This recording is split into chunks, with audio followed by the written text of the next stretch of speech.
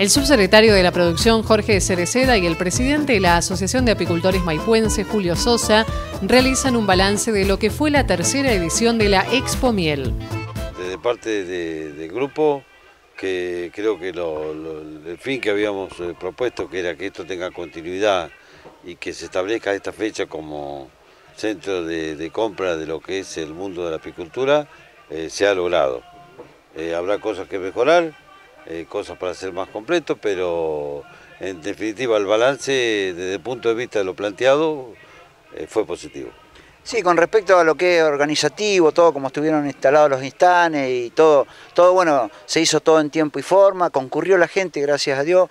Este, sí, también un poco eh, la crítica por ahí que nos hacemos, bueno, sabemos la situación del, productor apícola y bueno, tal vez ahí las rondas de negocio no fueron tanto las esperadas, pero por la situación como te comentaba, pero bueno, en, el balance general nosotros estamos muy contentos y muy felices porque las expectativas que teníamos con respecto a la organización y al, y al plantado de la EXPO y a la ayuda que hemos recibido, este, estamos muy contentos y bueno, esperemos seguir sosteniéndola y manteniéndola, que va a ser así, este, bueno, y ya vendrán buenos vientos. Bueno, las charlas fueron muy importantes, ahí asistió muchísima gente al salón de, charlas y, bueno, son muy fructíferas porque bueno, el apicultor rescata mucha información sobre lo que, y más hoy sobre estadística de números y todas estas cosas. Y bueno, sí, fueron un balance muy bueno, las charlas fueron muy importantes, muy interesantes. Como dije en el discurso, eh, entre momentos malos y, la predisposición que pusieron todos a, poner el cuerpo y seguir y darle para adelante, creo que es el condimento esencial para salir de cualquier tipo de crisis que se produzca a nivel local.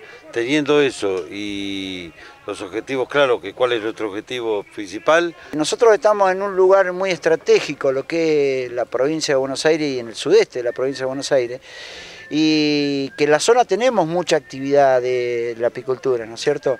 Y, bueno, eso también un poco como que nos favorece para, para concretar este tipo de, exposiciones, ¿no es cierto? Y bueno, por, eso mismo que te digo, nos visitó mucha gente de, bueno, de alrededor, de la zona y de, lugares más, más lejos también, pero por eso te digo, la expectativa fue muy buena y bueno, tendríamos que ajustar y preparar algunas cosas para la próxima, pero eh, la verdad que estamos muy, el balance fue muy bueno.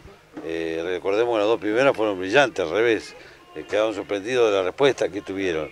En esta, bueno, adaptado al momento económico actual, pero igual eh, ellos contentos por, tener la lista de contacto, mantener caras nuevas, nuevos puntos de venta. Y bueno, eh, creo que en Argentina estamos acostumbrados a vivir este tipo de crisis. Una mancha al tigre no le va a hacer mal.